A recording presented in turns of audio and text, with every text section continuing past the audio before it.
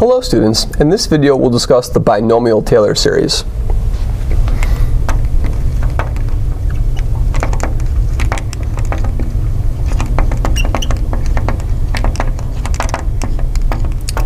To do this we first recall if n is a positive integer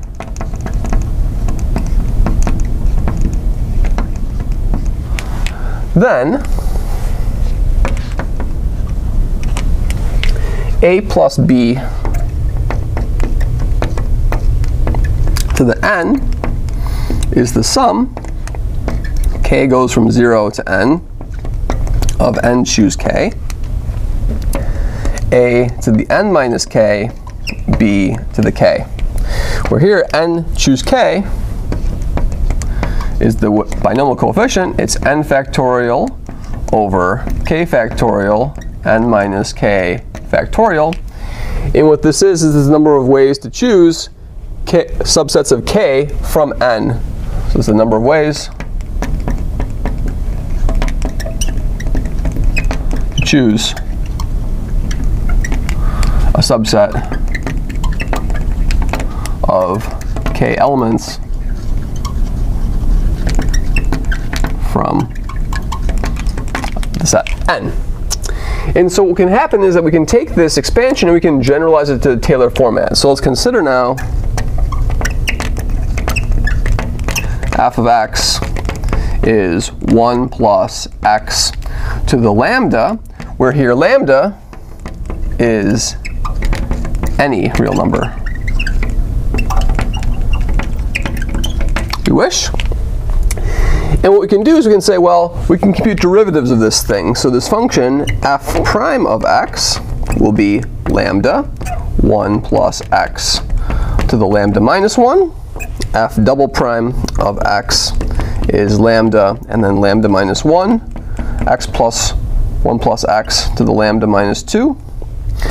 f triple prime of x is lambda, lambda minus 1, lambda minus 2, and then 1 plus x to the lambda minus 3, and so on. So if I do n derivatives, so I have f n of x, we have lambda, lambda minus 1, all the way down to lambda minus 1 less than this number. So I'm going to have a lambda minus 1 less than this number, so that's n minus 1, and then a 1 plus x to the lambda minus n.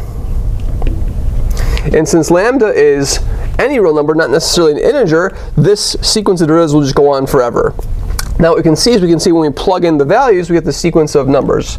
If we plug in, so f of 0 will just be equal to 1. f prime of 0, looking at this formula over here, will just be lambda. f double prime of 0 will be lambda times lambda minus 1.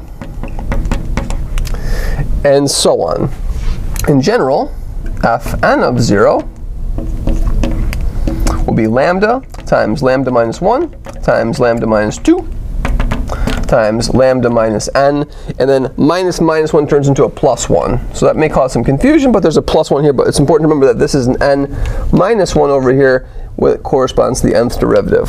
So what we can do now is we can say, we write on our Taylor expansion, that 1 plus x to the power lambda for any lambda is the sum. k goes from 0 to infinity. And the top will be a lambda, lambda minus 1, all the way down to lambda minus k plus 1, all divided by k factorial, x to the power k. And so sometimes what we'll see is we'll see this thing is referred to as a falling factorial. So these things are falling factorials.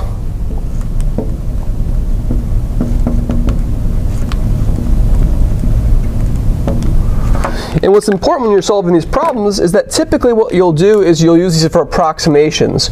So while this is the full Taylor expansion, you can write the first couple terms as just 1 plus lambda x plus lambda times lambda minus 1 over 2 x squared plus lambda times lambda minus 1 times lambda minus 2 over 6, which is 3 factorial, x cubed and so on and so on and so on and so on.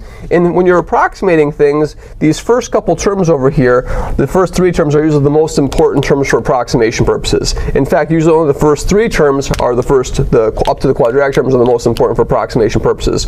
So getting acclimated with this formula over here for different values of lambda and for different values of x is very useful. Thank you very much.